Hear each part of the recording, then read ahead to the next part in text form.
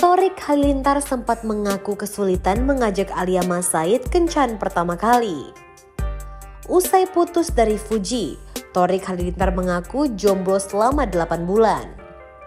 Bagi Torik Halilintar tak mudah untuk mengajak Alia Mas Said ngedate atau berkencan setelah 8 bulan tak PDKT dengan wanita lain. Ia beralasan sudah lama menjomblo kala itu dan masih malu untuk mendekati wanita yang lain. Sebenarnya waktu itu aku malu tahu. Aku udah lama banget gak ngedate, udah 8 bulan, ujar Torik Halilintar. Walau sempat malu-malu, Torik Halilintar akhirnya memberanikan diri untuk mengenal lebih jauh sosok Alia. Sebagai informasi, Torik resmi melamar Alia pada 15 Mei 2024 yang lalu. Keduanya kini tengah sibuk mempersiapkan lamaran dan pernikahan mereka. Untuk acara lamaran, Torik memilih untuk menggunakan adat Sunda. Torik dan juga Alia sudah ramai dibicarakan terkait pernikahan mereka. Terlebih Torik Halintar sudah melamar Alia Mas Said yang tentunya berlanjut ke pelaminan. Namun untuk kapan menikah, Torik mengaku belum tahu karena saat ini masih mencari gedung untuk acara pernikahan.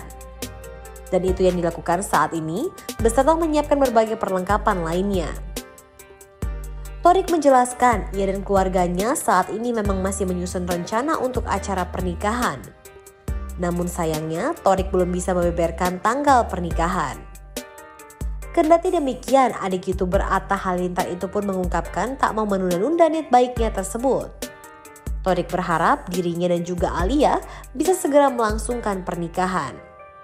Pada kesempatan yang sama, Torik juga membeberkan keinginannya mengenai konsep pernikahannya nanti. Torik ingin nantinya menonjolkan budaya-budaya Indonesia. Menurutnya, jika nantinya bisa menonjolkan budaya Indonesia di dalam satu acara pernikahan menjadi suatu hal yang luar biasa.